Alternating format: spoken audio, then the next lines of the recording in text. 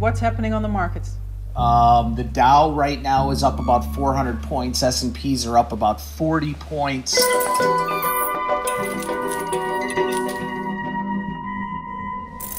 Last week, a skeleton crew from Backlight met in the team's deserted office. The reason? To explore the impact of the coronavirus on the world's financial markets. Via video calls with a colorful group of investors, traders, and financial analysts, we take the temperature of these unprecedented and turbulent times. They're people who have a lot to lose, but who can often afford it as well. First, we take stock with Scott Bauer, a veteran of the Chicago Stock Exchange. He spent years screaming in the trade pits. Now, he's an analyst for US financial networks like Bloomberg and CNBC. Scott is at home now and has had a couple of very intense weeks.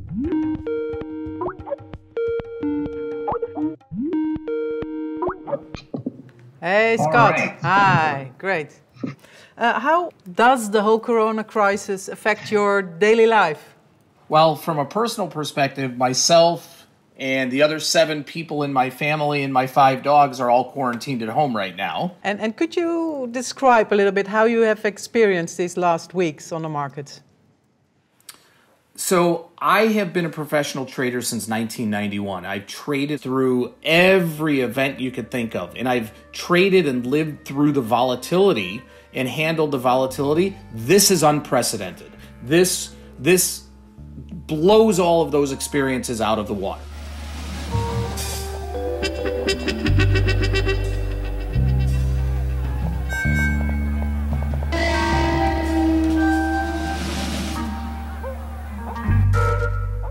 So as as we've been speaking, the Dow was up 400. It's now negative.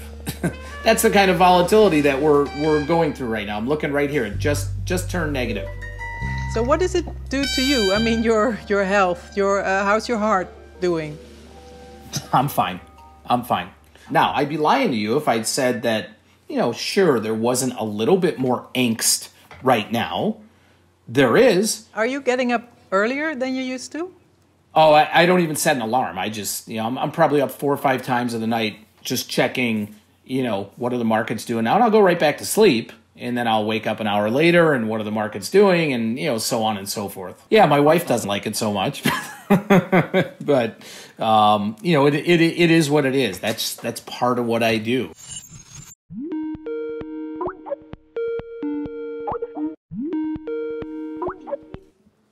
Hello, Joachim. Oh, can you see me? Yes, you Yes. can. It looks like you're in your office. Yes, we're the only ones in the office. Are you in your office? Aren't you supposed to stay home? Joachim Klement is a German who has lived in London for years. He's an independent analyst for a major stockbroker. We call him in the hope of reassuring words. He thinks investors should mainly think long term. With enough patience, things usually work out. so, what type of work do you do?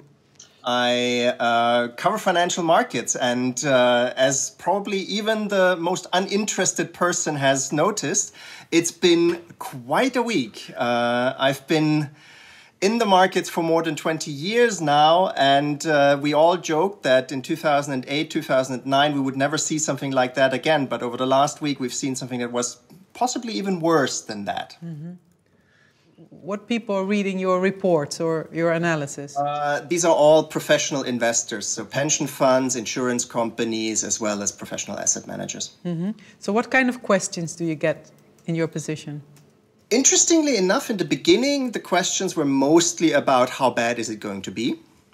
Uh, over the last couple of days, the questions started to shift towards we've seen such a big decline in markets that a lot of investments look extremely cheap. So, should I buy now? Where should I buy now? Where are the opportunities if we assume we can hold on to that investment until the crisis is over?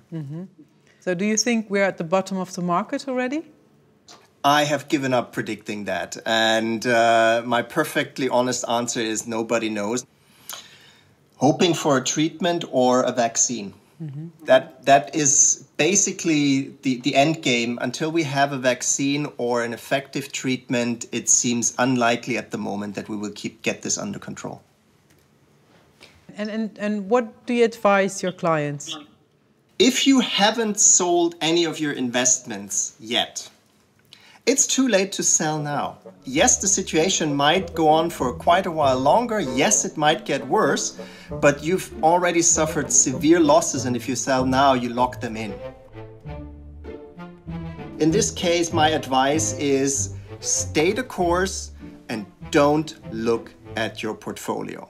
Because the, the worst thing you can do in this environment is look at your investments because then you see how much money you've lost. You get scared on top of the scare that we all have from the virus and the pandemic, and you're tempted to click on the sell button or do something with it and buy something else.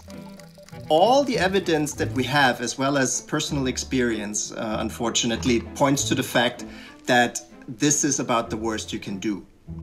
So, what is the feedback you, you get from uh, like pension funds? Everybody was just going for basically the safest investments that they can have, which in this case was cash. Which kind of cash? US dollar.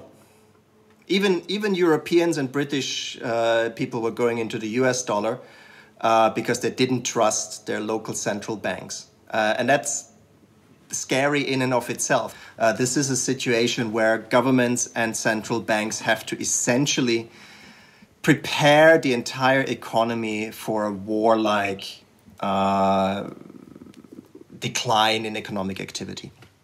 I talk about the Chinese virus, and uh, and I mean it. That's where it came from. You know, if you look at Ebola, if you look at all the Lyme, right, Lyme, Connecticut, you look at all these different horrible diseases, they seem to come with the name with the location. And this was uh, the Chinese virus. um, the biggest problem for the US government at the moment is that it doesn't speak with one voice. Financial markets and businesses have, to paraphrase Franklin Delano Roosevelt, only one thing to fear at the moment, namely fear the fear and the uncertainty of what is about to happen over the next six months or so. So, um, but what will you, will you do if there's a, a total lockdown? Is because are people who work in a trading room or a dealing room are they essential At the moment, the, the, UK, the British government, they've already indicated that the, the people that keep the financial services running uh, will be considered essential. Uh, so that does not mean somebody like me who's a research analyst, um, but the traders who literally make sure that the, the stock exchange can operate, they will definitely be uh, essential. So they will be like healthcare workers. Uh, yes, uh, it's a. I, I would I would say the the healthcare workers are, are heroes. The traders are not. Uh, in a sense, this situation right now is a little bit worse than a war because in a war you usually shut down the economy to produce other things that you need for the war effort. Now we're shutting down the economy to do nothing.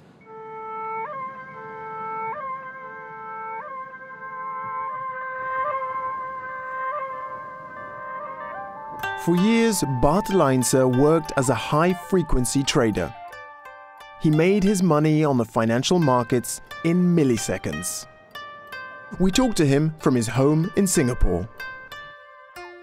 Bart, kun jij beschrijven in wat voor soort situatie uh, je bent? Het is hier redelijk relaxed. Eh, de, regering heeft het redelijk goed onder controle. Uh, de meeste nieuwe gevallen die er nu komen, die komen uit het buitenland. Dat zijn Singaporezen die terugkeren. Uh, en die worden meteen uh, opgevangen, dus die, die, kunnen de bevolking verder niet besmetten. Dus men is hier redelijk relaxed. Het, het, leven begint weer een beetje zo'n normale gangetje te gaan. En hoe zit het met testen? Uh, testen is nagenoeg gratis. Het kost je 10 dollar, dat is niks. Uh, als je het hebt, dan wordt de hele behandeling door de regering betaald. Uh, dus mensen die het niet zo breed hebben, die, die schrikken niet terug om zich te melden, omdat ze dan een grote rekening krijgen. Want het wordt toch wel betaald. Elke dag krijg je een overzicht van alle gevallen die gevonden zijn, waar die mensen allemaal geweest zijn, waar ze wonen, waar ze werken. uh, wat ze gedaan hebben. Dat is allemaal openbaar. Dus je kan van, nou we hebben 300 gevallen nu. Van al die mensen is bekend van wie ze het gekregen hebben.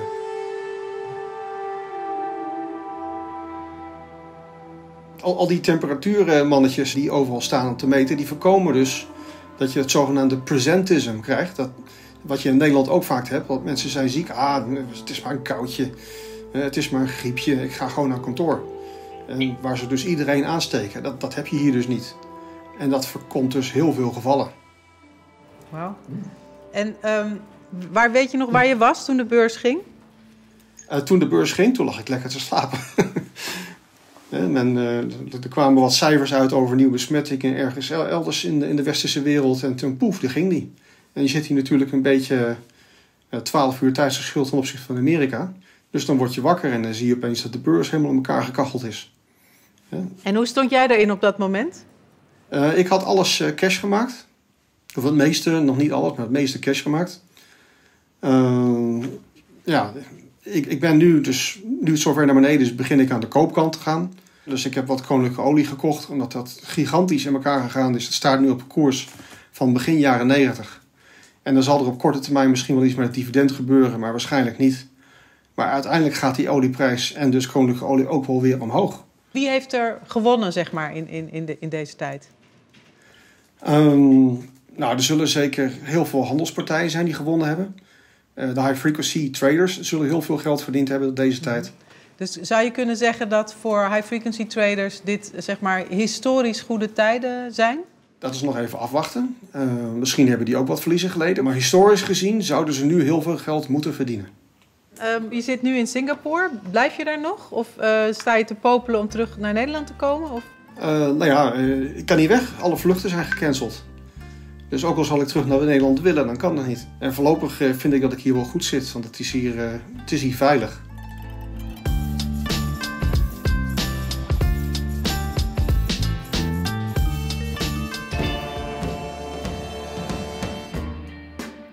Always been a geek about finance and I've always been a geek about how the system works. So like the really boring nuts and bolts, the plumbing of the system. Yeah, exactly. Izabella Kaminska is a journalist for the Financial Times in London. In a previous episode of Backlight, we talked to her about the rise of Bitcoin. Now, we ask how she sees the current crisis.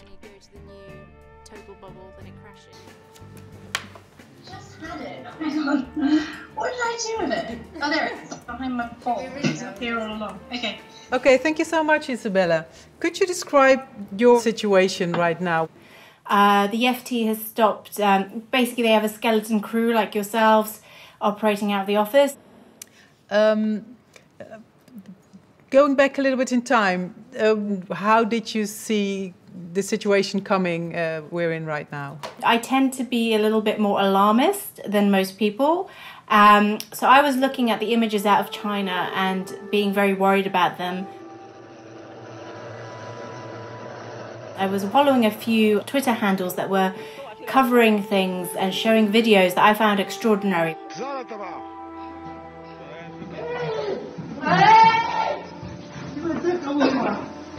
I was trying to sort of say, well, this scale of response is just not consistent with what the equity markets are doing, which they were simply ignoring everything. But the oil markets got hit quite quickly, and there was immediately a discorrelation. So I found this very bizarre. But a lot of my contacts were like, well, you've got to discount a lot of the news out of China. A lot of it is fake news. There's lots of people who are sort of who have an interest in sort of um, hyping things up. But do you have an idea why they reacted so slowly? What what kind of mindset?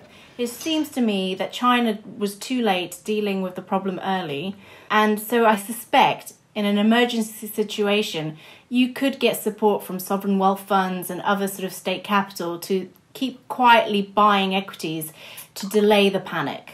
Because the worst thing that could have happened is if we panicked financially too early. Because why? Because if there's a financial panic of the scale that we've seen now, but say a month ago as opposed to now, it wouldn't coincide with the peak of the crisis. So to top everything off, you would be dealing with a with a you know failing healthcare system when the peak arrives, but also you would be dealing with a financial crisis which could possibly take out salaries, jobs, um, and add to the chaos. So I think there had to be a sort of structured shutdown of the economy. Now, maybe, maybe I am being too hopeful in our own governments. Maybe they were really just badly, badly prepared. But it seems to me that they had a real interest in delaying the financial uh, repercussions.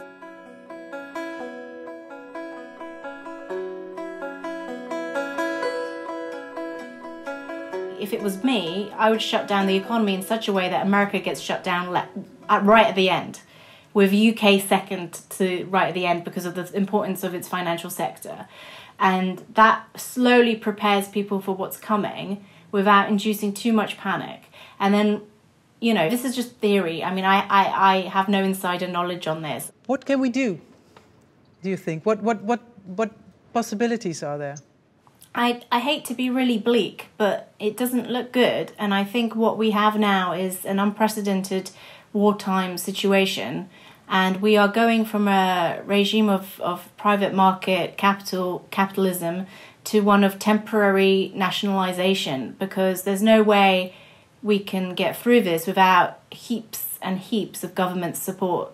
So I expect there will be helicopter money drops. I expect that there will be um, sort of to some degree there may be rationing. How could capitalism, within our capitalist system, how could we tackle that? And, and how does it differ from the way China can do this? So I think the great thing capitalism has going for it is its capacity to innovate and think creatively, um, which is not apparent with more command economy type uh, authoritarian regimes. For example, I wrote a column last week saying cabin crew are an excellent source of labour. They are very well trained, they have first aid um, qualifications, they respond very well to, to sort of um, command structures. They could be diverted very easily from now. I think in hindsight, we understand why China decided to bu- build two new hospitals in 10 days. Like at the time, we were watching it on the video cam thinking China is mad.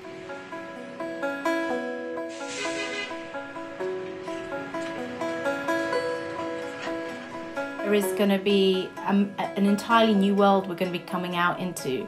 Um, in some ways, it could be good for the world because it would really reduce income inequality. The question is at what cost?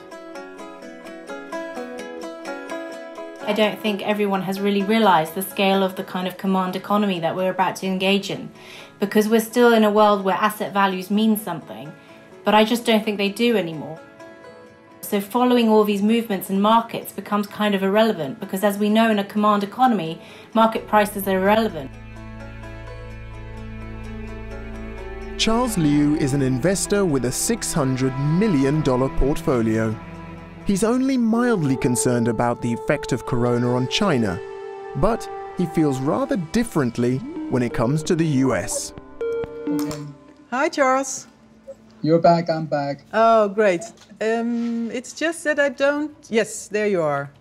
Oh, wonderful. So, what's happened to your portfolio? Uh, cash flow negative. what is your strategy in these times? I, I, this is personal. I'm looking at healthcare, including preventive health healthcare and biomed. Also, looking seriously at agriculture and food production. In what sense? when central banks print money like this, we're going to have inflation. You can print all the money you want. All that does is bail out the Fortune 500. It's a bailout. Yeah. It's not going to solve the virus problem. When you have inflation, social stability will come from sufficient food supply. So eventually, the Chinese government and other major emerging market countries will have to focus on food supply you don't need Louis Vuitton, but you need rice, right? So those are the type of things I'm looking at now.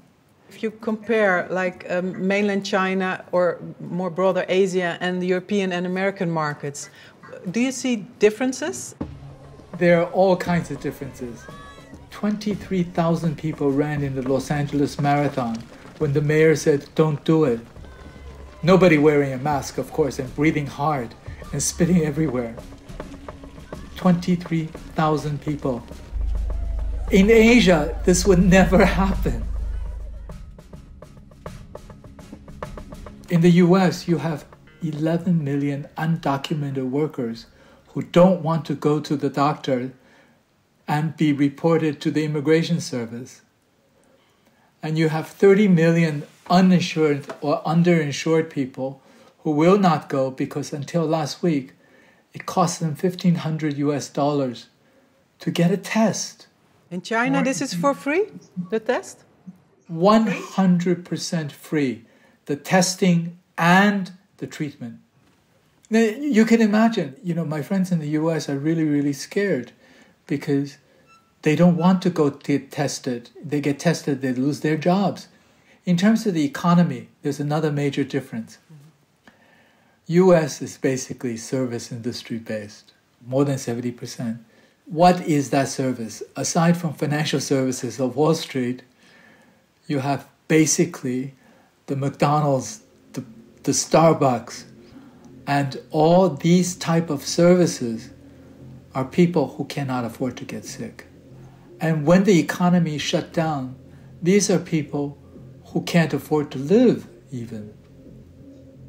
I, I think the situation in the US is probably the thing that worries me the most because it's a country that uh, population of 300 million but registered guns 340 million. I think we have to look at this from two perspectives okay? We look at independently the us market dow jones down to below to 20000 so basically down over 30% now why did it go up 30% why did it go up so much because of the tax break and when you have a massive tax break what happened to the corporations. They take this money, they don't invest it. They do share buyback. S&P calculated that the total amount of share buyback is 1.5 trillion dollars.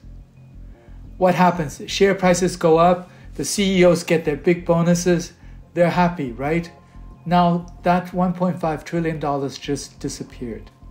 Just evaporated into thin air. The Chinese side are more pragmatic. They look at the companies as whether or not they're real companies. Okay, there's some problems with Chinese companies because, you know, not all the numbers are necessarily completely truthful, but at least it didn't have this sugar high. And increasingly, this is what happened with JP Morgan Chase last week, they're saying, well, the Chinese market is a safe haven because the market size is here, the demand is here, the new middle class is here, right?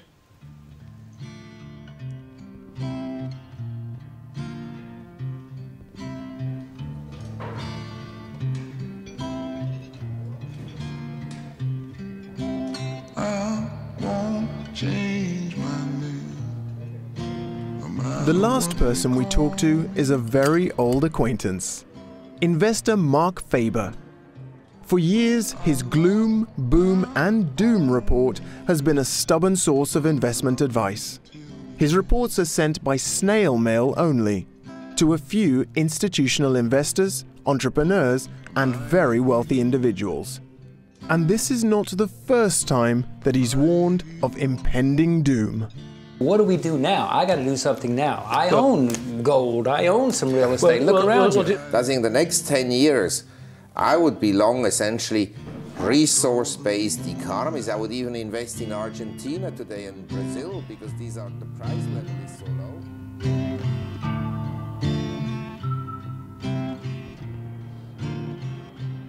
Ah. Did your life change these last weeks?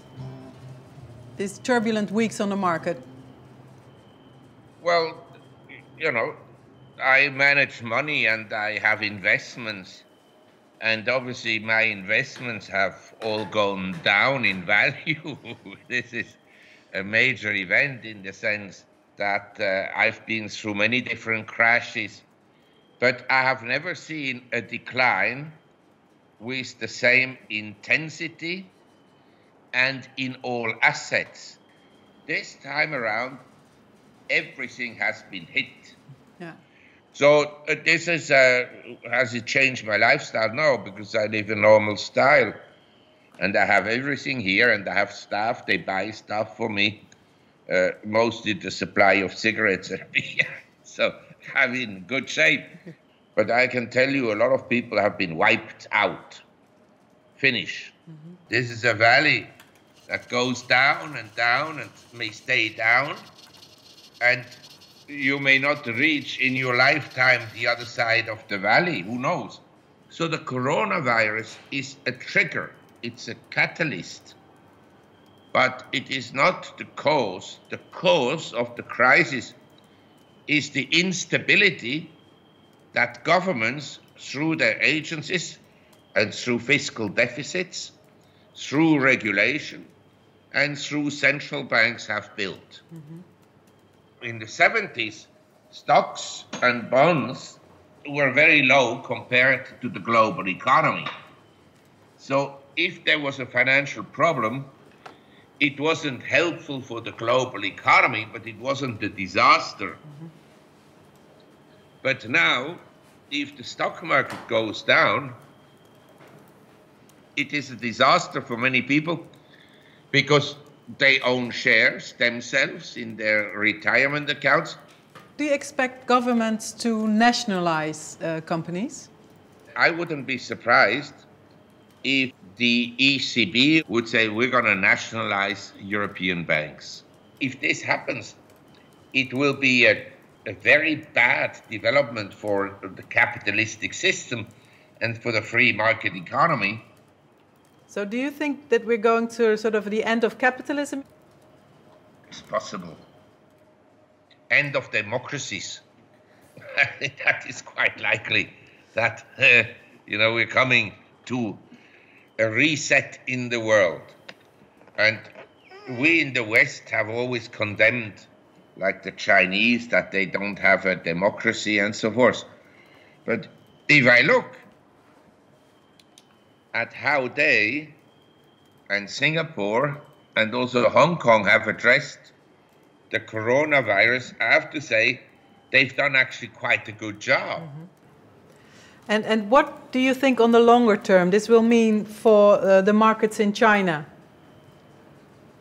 Will there be a different future than for Europe and the United States?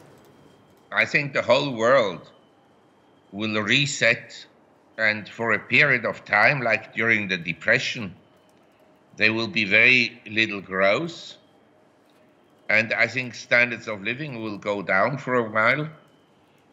And so, you know, depending on which government, it may mean that you have a very different lifestyle than I had when I grew up.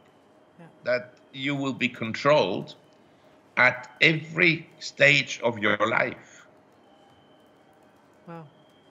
Big Brother, you understand? George Orwell, the Big Brother in 1984. The government will check how much you drink and where you drink and we, whoever you are. So here are the communist leaders. On the left, you have Stalin, and then Lenin, uh, Marx, Engels, and at the top, Mao.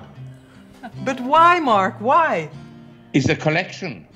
I thought if I invest $20,000 in this collection, maybe one day it will be worth, you know, 5 million or so. So you see all these badges. And each one has a different value, it's like a stamp. Yeah. So I have 330,000. What? But what will you do with this 330,000 badges? thousand. I'll eat them. no. I, I, mean, what do you, what do you do? the question is, what do you do with any of your possessions in life? This is the beauty about life. You can't take it along. Thank you for watching. For more on this subject, take a look at the playlist. You can also watch this recommended video.